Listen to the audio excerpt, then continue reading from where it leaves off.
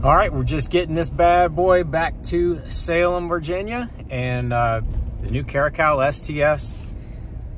Let's check this thing out, man. I'm uh, kind of excited. We'll just do a little run through and, and check it out.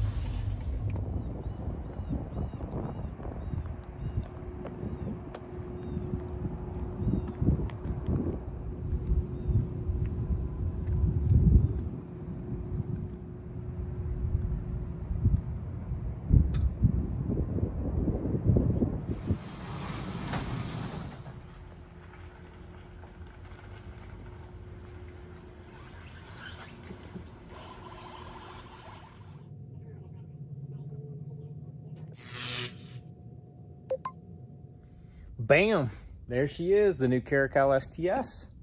Um, just got it in the, uh, the garage, as you can see. She's pretty, got a few different changes. Uh, I'm gonna walk through it, kind of show you the different changes and what it is all about. And conveniently, for you guys, not for me, uh, I've still got my, my 2023 here my Puma STS. Uh, I've got a couple deals working, but it is still in the garage here. So you can kind of see the Puma STS, and then there's the Caracal STS. And I'll tell you a couple of the differences, you know, kind of as I go through it. But I'm gonna flip it around and uh, we'll kind of walk through it. Well, let's talk about the, the, what's what's the same. As you can see, red power poles, Mercury 250, tandem axle trailer. This one has the silver accent bass wheels, the 18 inch bass wheels. Now, my one last year had the black, so you can either get that option or you can get that option. You can get the blackout option or you can get the silver option. That's one uh, one thing I love those. I love the little uh, the 18 inch wheels with the bass on them. Uh, but you can see that's that's one difference right there off the bat. And uh, this year, I will be running the Bob's jack plate. I love how the Bob's has the black uh, accent. It just fits with the whole motif. Um, I, Bob's was the very first jack plate I ever had, and um, that's what, what I'll be running this year. I'll talk more about that later, but let's talk more about this Caracal. As you can see, the deck on it, just kind of walking through. Gonna have the 52 inch power pole move. Again, very light, super strong, powerful trolling motor. I'm gonna do that. I'll explain why I've got that later. But let's get up in here and like look at a few of the differences. Well, as you as you go up here, you'll see the flooring is different. The reflex flooring has this cool 2D sonar pattern.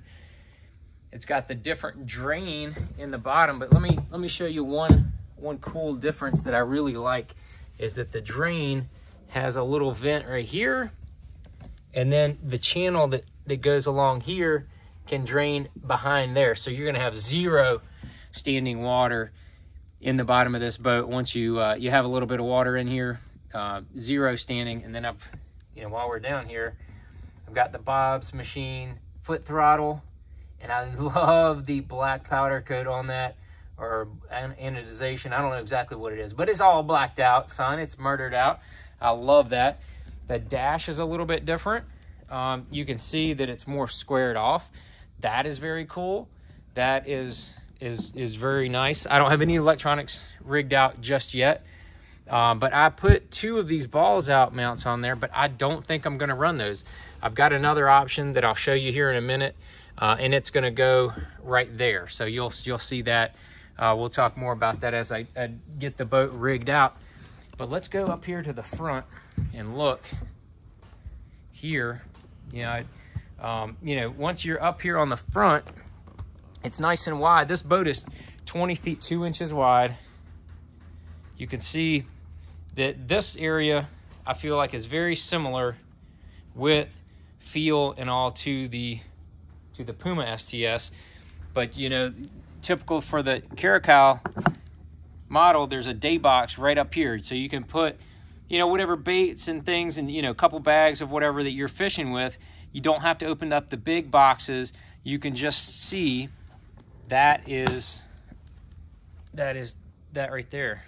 Uh, So as you can see that that box is really handy. And I'm gonna just move that and you can see that there's there's two boxes, one big box, the two rod lockers.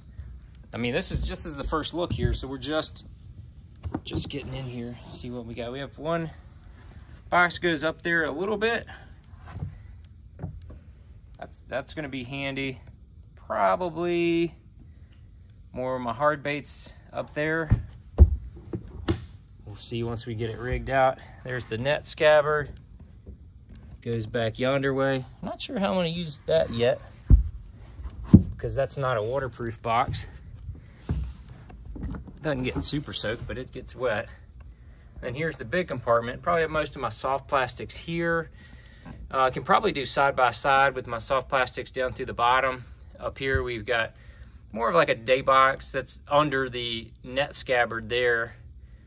So we'll see uh, we'll see what I end up coming up with to configure that. Um, not doesn't look like quite as much storage on the front deck as my Puma STS. And just so you know, this right up here, oh, let me look at the step right, right quick and we'll show you. So the step cooler here uh, looks to be completely waterproof. So either you can use that as a cooler. I got my decals in there and some other random stuff. Uh, either you use that as storage, which I may use that as storage, or can use that for a cooler. Oh, the other big thing, these these latches, they went away from the uh, the other ones, went back to the old school the old school latches that uh, work tried and true. There's the the passenger side rod locker and got a few random stuff in there. Doesn't look much smaller. I mean, we're talking maybe a tick smaller than the Puma STS. And then you'll see on the other side over here. Pretty, pretty good size. I can put all the same stuff that I had in the other boat in here. Uh, I'm pretty sure all that's going to work. So that'll be cool. And then you can see that they went ahead and, and moved the pliers storage over here. I like this a lot. I think that's very functional. It's not here anymore. It's not going to trip over that. That's not going to be an issue.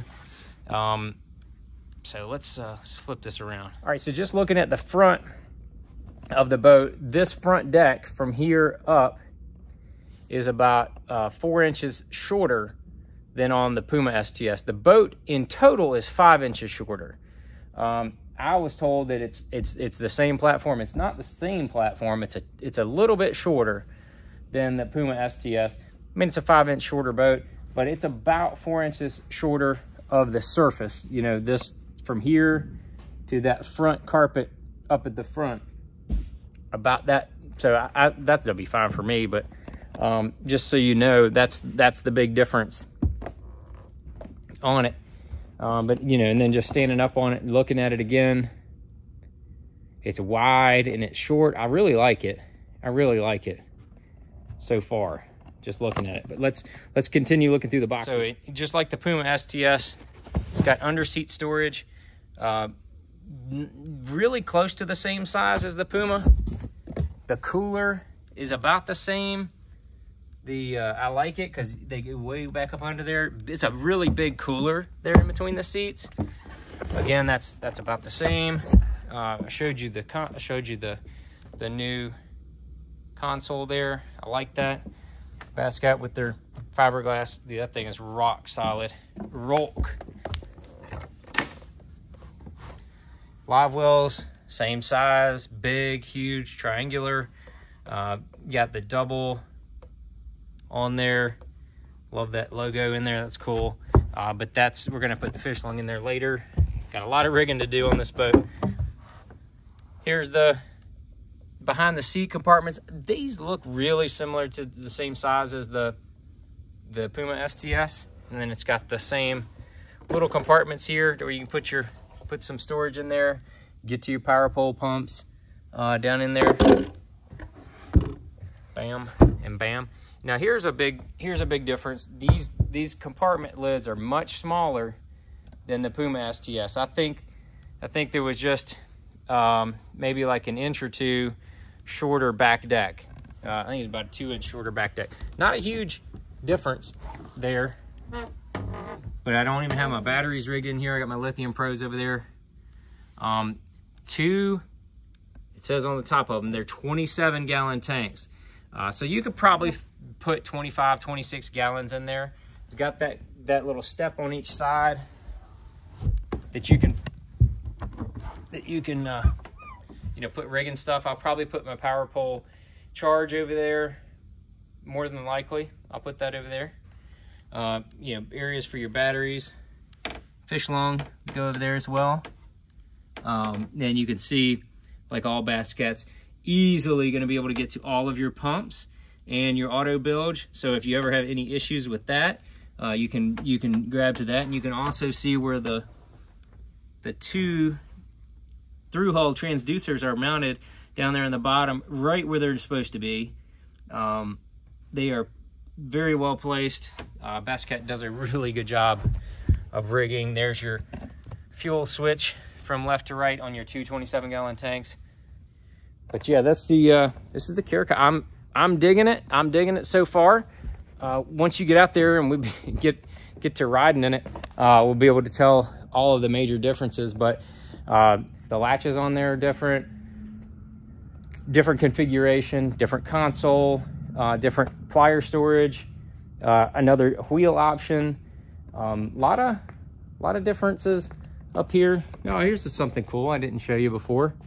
Got this the new clamshell for all your wires to come out. So big hole there, so all your wires can come out of one spot and it'll look nice and clean.